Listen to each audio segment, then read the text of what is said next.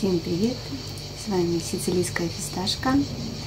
А, сегодня у нас а, очень красивое вьющееся растение на обзоре а, в рубрике «Ветка».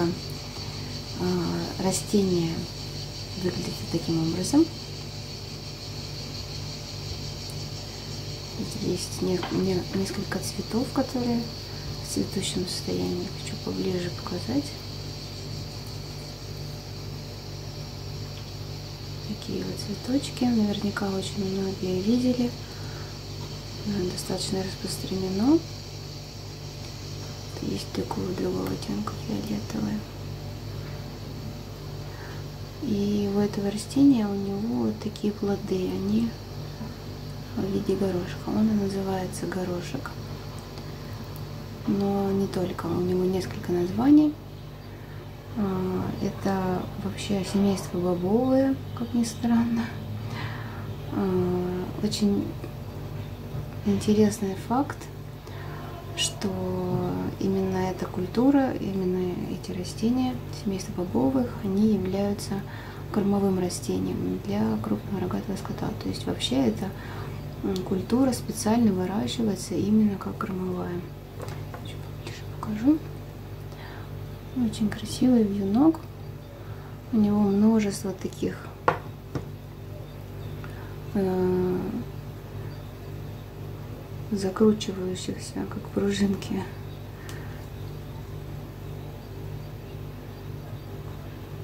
Зеленых побегов, очень интересно. Вот он ведется очень э, стелится быстро после того, как он начинает расти, он уже по земле начинает стелиться и а, очень обильно растет. И переносит заморозки аж до минус 6 градусов. Это просто колоссальная выдержка растения. Представляете, до минус 6, то есть это мороз он может. Его побег, если попадут мороз, он не погибнет, такое растение. Итак, что хочу сказать про него. Во-первых, у него Э, несколько названий.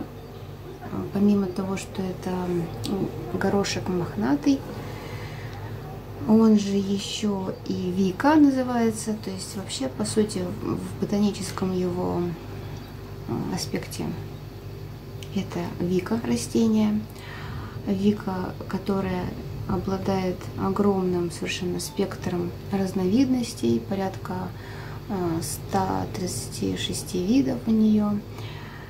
И также она есть э, и однолетняя, и многолетняя. А, но все-таки основное то, что мы сейчас будем говорить, его ботаническое описание про однолетнее растение,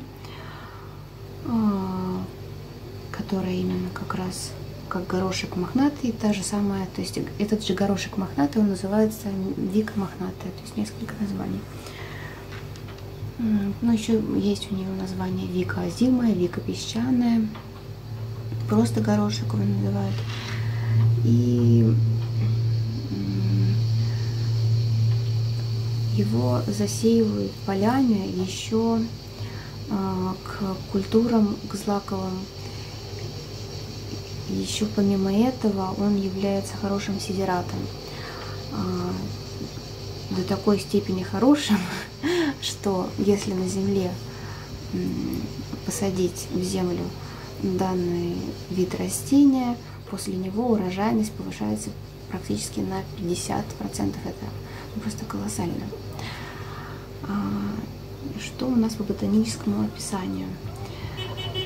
А, цветет оно, ну, как я уже показала, лиловыми синими цветками – кстати говоря, реально очень красивое. То есть вот если не знать, что это кормовое растение, да, то есть оно же, если кормовое, это практически ценный белок для, для животных. Такие сказать, протеиновые волокна. Вот. Кто бы мог подумать, что это бобовые, да? Такой вот веночек в полях, он, в принципе, а, даже не в лесах где-то, где его можно встретить. Ну, хотя он очень распространен, его можно встретить и в полях, и на лугах.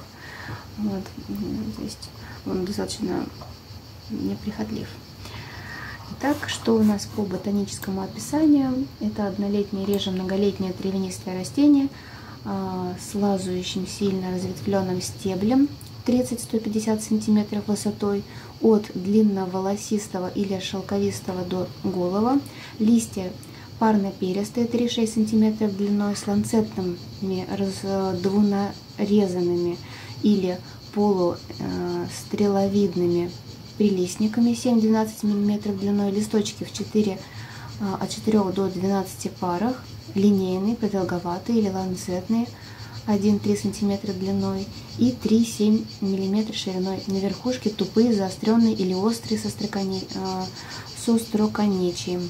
Усик, которым заканчивается лист с двумя-тремя разветвлениями. Развивается глубоко идущий стержневой корень с хорошо развитой сетью мелких корешков – на корнях развиваются азот фиксирующие бактерии, узлы гущения залегают над самой поверхностью почвы и не страдают от стравливания и скашивания.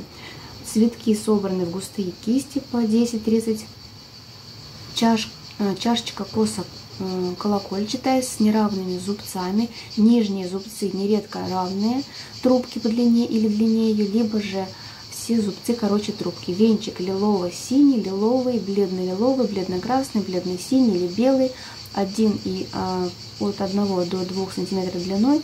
Флаг линейный или продолговатый, стянутый в средней части. Крылья короче флага, но длиннее лодочки.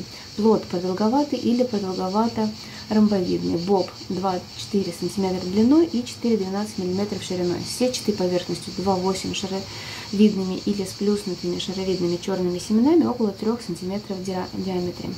Распространен он в Северной Африке, Центральной и Юго-Западной Азии, Южной и Центральной Европе. В настоящее время обладает а, космополитичным ареалом, в Северную Америку горошек был заведен в XVIII веке, в Великобританию в 1815 году и к 1857 году начал вечать.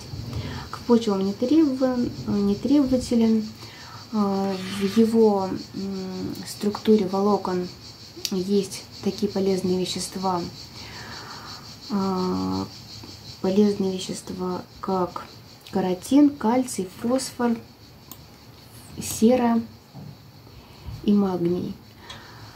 А, что еще? А, также это растение является энтомофильным. Это значит, он а, опыляется насекомыми.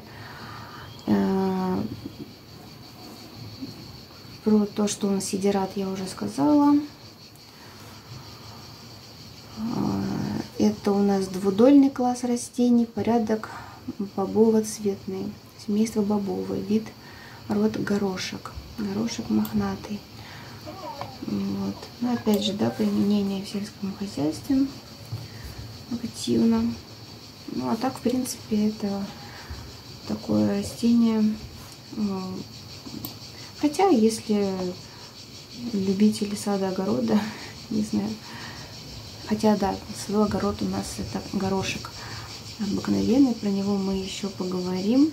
Садовый горошек, он очень красиво цветет, действительно. Потрясающий аромат у него очень тонкий. Но это уже в следующих видео. Ну вот такое небольшое видео про Вику мохнатую и его особенности. А с вами была я, Сицилийская фисташка. До новых видео. Пока-пока.